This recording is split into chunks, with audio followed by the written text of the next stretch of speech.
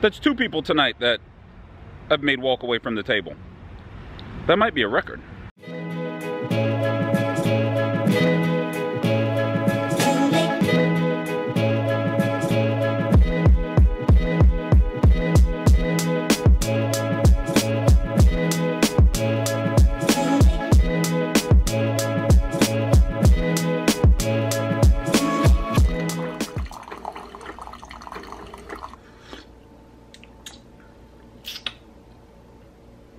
You always got to dance with the one that brung you. That being said, I'm about to dance my ass back into my office and finish my work, and then we'll go play poker. Tonight, Friday, September something. Don't even ask. I don't know why y'all asking. You know I don't know the date. Man, I done spent the last two hours getting a lot of stuff done today, so I don't have to do it tomorrow. It's quarter till eight. It's time to get out of here. That's what time it is. Hopefully the games are popping up at Hollywood or Ameristar, and I am getting ready to get into one of them. And then tomorrow I'm gonna get into some more because I didn't finish most of the stuff that I was gonna do tomorrow tonight. But I got a ton of yard work to do tomorrow morning. So I'm not gonna be staying out late tonight because I have to get up early in the morning. So let's get out of here.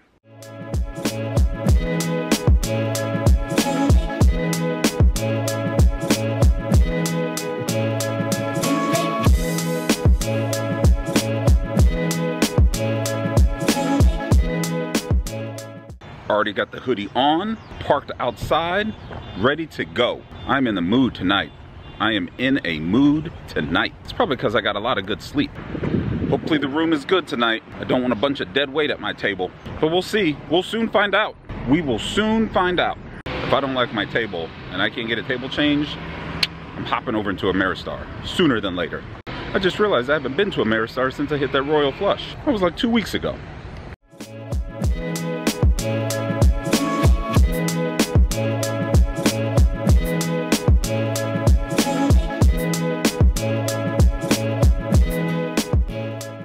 You guys are gonna have to check the timestamps.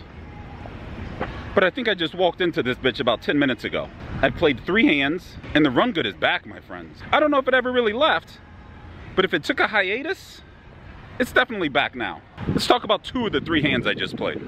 I sit down at the table, haven't even gotten situated yet, haven't said hi to all my table mates, haven't done any of that, you know, greeting stuff. I look down at pocket sevens in middle position. Under the gun makes it 10 with about a $70 starting stack. I call the 10 with the full buy-in, 300. So it folds around to the small blind, who's actually a good friend of mine. The first time I had seen him in a while. I greeted him when I got to the table. He makes it 35 with about a $400 stack. Under the gun player, the original raiser, he folds. I call with pocket sevens. Flop, seven of diamonds, jack of clubs, four of hearts. He leads out for 65. I call. I believe was the queen of diamonds. He moves all in. Obviously, I snap call. The river pairs the four. I think was the four clubs. Um, he turns over pocket aces. I turn over pocket sevens. Double up. First hand. That's just how we're running today. That's how we're going to run. Very next hand. Very next hand. Two limpers to me. I look down at seven, eight of spades. I make it 13 folds back around to the exact same guy um, who I just doubled up through in the hand previous. He calls, uh, three more people call. Flop comes seven of clubs, six of spades, deuce of diamond. The villain from the first hand, donk bets $15, folds around to me, I make it 50. He thinks about it for a while, he calls. Turns the queen of diamonds, and we both check, check, check. One of the reasons I made it 50 on the flop was because I pretty much guaranteed that he is going to check all turns that don't improve his hand. So essentially I'm paying for a free turn card. If that makes any sense, paying for a free turn card. You know what I mean. River comes the eight, it completed a flush and it completed a straight. He now bets 50. I think about raising for a while, but I decide to push out and just call. He turns over pocket nines, I turn over two pair. Jaman wins again. So, good start to the night. I can't complain. Check the timestamps. I haven't been here that long. I like just saying it to the camera, then I don't have to write it down.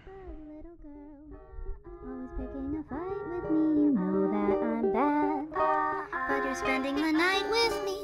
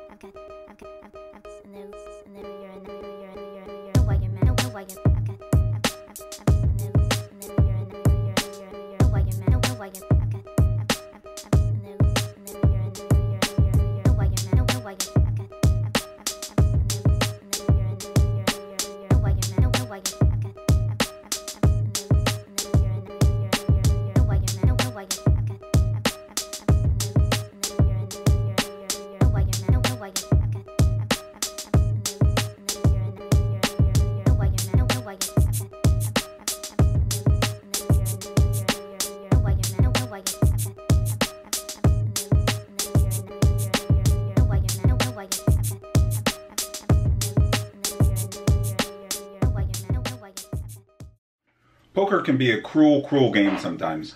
So let's talk about this hand where I had ace king offsuit on the button. the villain in this hand has legitimately been running bad for probably two hours straight. I have personally seen him get rivered five, maybe six times. Thus, he's bought in for full stacks five, maybe six times. He's extremely stuck in this game at this point. I'm eating grapes. I'm not going to stop eating to do this, so just deal with me eating grapes. So he opens for 10 in middle position. I flat on the button with ace king offsuit, which is something I normally don't do, flatting on the button with that strong of a hand. But against this guy, uh, he was beyond tilt. If there's a level beyond tilt, he was clearly there. So we go to the flop heads up. So the flop comes out queen of spades, ten of diamonds, six of diamonds. He checks, and I check.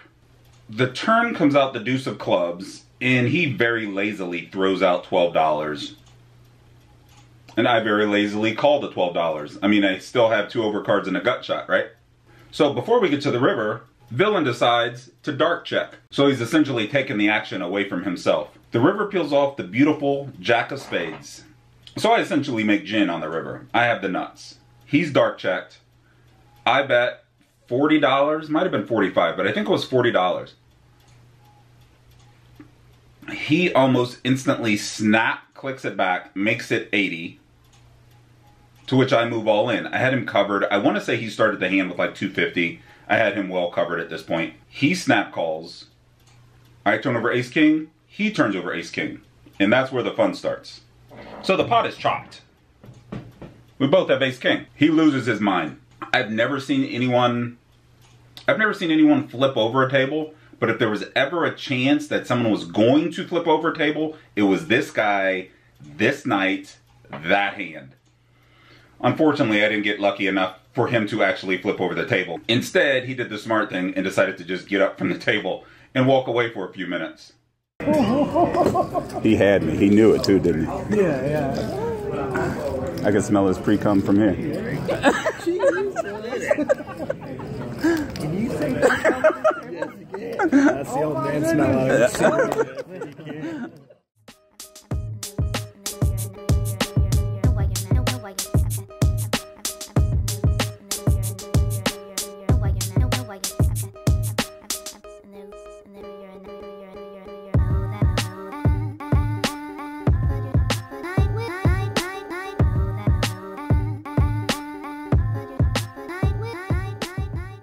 call it whatever you want, but this is your mid-session update, even though it's pretty much the end of the session.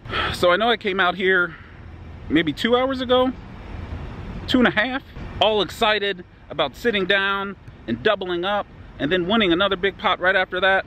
First two hands or first three hands, I'm on fire. This is gonna be a great night. I probably should have just left right after those hands. Cause since then, I've lost a big pot, I won another big pot. My chip stack hasn't really moved up or down after the first hour I was here. That's not a bad thing. I'm not complaining about it. I just wish it would have kept going up and up and up. Really, the only thing keeping me at my table is this one guy who is on life tilt. Life tilt. I just chopped the pot with him. We both had ace king and we both rivered a straight. We chopped the pot. He lost his mind. Lost it. He had to walk away from the table. That's two people tonight that I've made walk away from the table. That might be a record. Sir, if you can't handle chopping pots with ace king, you probably shouldn't be playing poker. It was like a $30 pot before the river. It wasn't even that big. It's nothing to get all excited about. But anyway, that's my update. There ain't really much going on. My table's good. There's a lot of big pots at my table. I won't say I'm card dead because I'm not.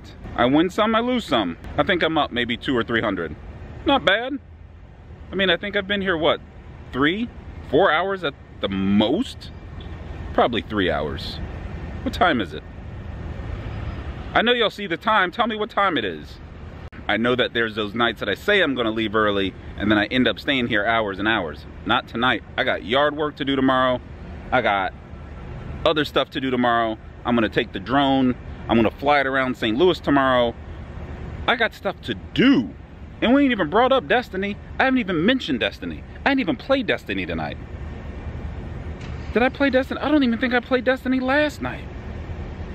See, I got stuff to do. And I still gotta sleep somewhere in there. And work out.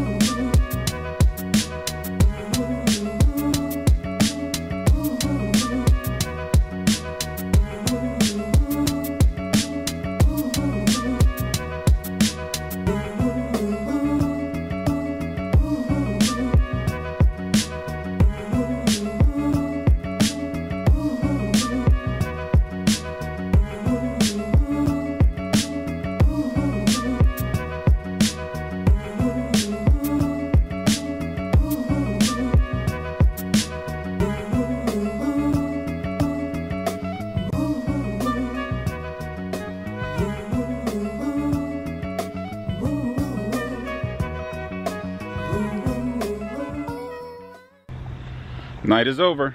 Night is done. Thank God that I remembered that I parked outside. Otherwise, I'd have been searching for my car forever. Night started off with a bang. Then I just kind of marinated for a long time. I just sat there. I would win a pot, I'd lose a pot. So the final tally, is that right? Tally? I don't know. The results. In for 300, out for 645. So that's another 300 to the bankroll and 45 into savings.